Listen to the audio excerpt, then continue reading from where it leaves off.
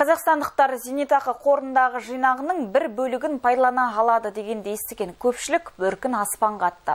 Алайда бұл жаңашылдықтың талап ережесі жұртшылықтың қуанышын су сепкендей басты. Бірі шекті сомадан аса алмай бағдарламадан қағылдық десе, енді бірі қордағы қаржысы жетсе де 5 жыл көлемінде үйді сата алыды. Қоғамда қызу талқыға түскен мәселеге атыраулықтардың пікірін Зейін Ерғали білді. Жанаргүл Шарғабаеваның ұстаздық қызметте жүргеніне міне 20 жылға жуықтады. Ол баспана алу үшін түрлі мемлекеттік бағдарламаларға құжат ұсынған. Алайда кезектің жылжымайтыны қынжылтады дейді мұғалім. Осы ретте жаңа заңды естігенде үміт оты жарқ ете қалады. Кейін қордағы қаржысының шекті сомадан аспайтындығы көңілін су сепкенде басқан жасырмады. Мен 20 жыл мұғалім болып жұмыс жасап отырмын ғой. Маған бұл заң тиімсіз. Яғни менің жинаған қаражатым 3 миллион 300 мың теңге. Менің жасымда 43 жаста 3 миллион 437 мың теңгеден асу керек ақша. Ал менде ондай жинақ жоқ. Бұл жинақты жинау үшін мен екі ставкамен немесе екі мезгіл жұмыс жасауым керек екен. Мұғалімдер ге бұл заң қолайсыз деп ойлаймын. Және 22 жастағы ұлым бар. Ол ұлымда да 400 мың теңге қазір қорында ақша жоқ. Олар 100 мың теңге 80 мың теңге жалақымен жалақы тауып отырған. Азаматтар ғой енді жастар. Оларда да үй алу мүмкіншілігі жоқ. Сондықтан осы заңды әлде қарастырса әлде қарапайым халыққа табысы аз халыққа тиімділігін қарап әлде өзгертсе деген ниеттемін. Жанаргүл секілді қаражаты шекті сомадан аспай қалған атыраулықтар жетерлік. Басым көпшілігінің мұңы бір. Елдің шайлығынан аспайтын айлығы кәдеге жарар емес. Мен төрт миллионым бар ғой. Соны енді балаларға үй алып или квартира оңдасын деп маған өзіме жетеді мен пенсиям жетеді еще бір жағынан жұмыс жасап жатырмын да екі жыл болды пенсияға шыққаным а бірақ ана накопительныйдегі балдарға көмектесейін десем төрт миллион ақша ала алмай тұрмын ғой. Придется кредит алуға или тағы бірдеме сондай сондай. Мен ала алмаймын.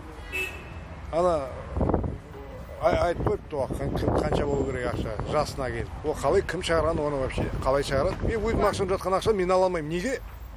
бес миллион бес жүз мың болу керек дейді елу тоғыздан асқан жігітке ол қалай ол өзім ақшам өмір бойы копейткен неге бермейді тиімсіз конечно Очень удобно молодым. О чем вы, Лязат? Многие из молодежи не могут устроиться официально на работу. О накоплениях там и речи не может быть. Программа придумана для тех, у кого всегда были деньги.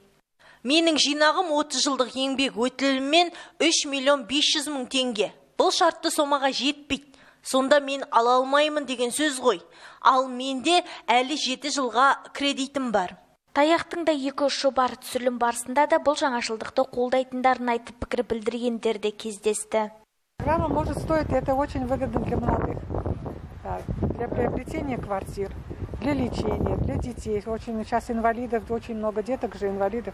Для лечения деток, потому что не хватает. Вот с этим кризисом зарплаты не получают, работы нет, люди не получают. Поэтому очень выгодно им, конечно, получить с пенсионного фонда то, что они заработали какую-то часть денег. Мамандардың есептеуінше елімізде 1 миллионға жуық салымшы жаңашылдықтың игілігін көрмек. Қаражат тұрғын үй алуға немесе емделу мақсатында беріледі. Ол үшін алдымен әр азамат өз жинағы туралы мәліметті білуі тиіс. Оны электронды үкімет порталы немесе мобильді қосымшалар арқылы анықтауға болады. Және шекті сома әр жас мөлшеріне қарай бөлінеді. Платформамыз арқылы біздің халқымыз кіріп өзінің ұсыныстарын жасап жатыр. Біздің есебіміз бойынша 60 мыңға жуық халқымыз осы платформа арқылы өзінің ұсыныстарын береді деген ойдамыз бүгінгі күнде тұрақты түрде жұмыс істеп жатырмыз күтуіміз бойынша облыс деңгейінде де осы халқымыздың 47 пайызы өзінің несиесін жабуға 17 пайызы ипотекасыз үй алуға 14 пайыз жаңағыда ағайын тумасына аударуға 8 пайызы несие алуға отбасы банктен 6 пайызы жаңағы бастапқы жарна ретінде пайдаланып үш пайызымыз жаңағы құрылысқа жұмсауға үш пайызы жаңағы бұрынғы қаражаттарын басқа банктен қайта қаржыландыруға және екі пайызы жалға алған үйлерінің қарызын қарызын жабуға байланады деп күтудеміз. Көпшіліктің көңілінен шықпаған тағы бір талаптың бірі ипотека, яғни зейнетақы қорында қаражатқа пәтер алған адам баспанасын 5 жылға дейін сата алмайды. Бұл мәселеге қатысты орталық коммуникациялар қызметінде өткен брифингте де бірнеше сауалдар жолданды. Сұрағыңыз өте маңызды сұрақ. Көп адам көкейінде жүрген әңгіме осы бүгінгі бекітілген ережеге байланысты.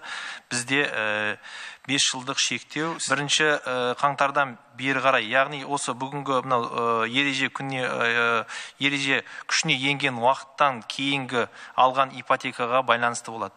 Қалған барлық жағдайларда қалған барлық жағдайларда ешқандай шектеу жоқ. Яғни сіз егер ә, тұрғын үйді өзіңізге жеке меншікке сатып алатын болсаңыз оны кез келген уақытта осы ә, бірыңғай ә, зейнетақы қорында қаражатыңызды пайдаланып сатып алсаңыз онда кез келген уақытта қайта сатуыңызға құқыңыз бар. Осылайша жаңа заңның талап ережелі әлі де өзгерістерді қажет етеді. Жауапты мамандар да қаңтар айының соңына дейін тағы да пысықталады дейді.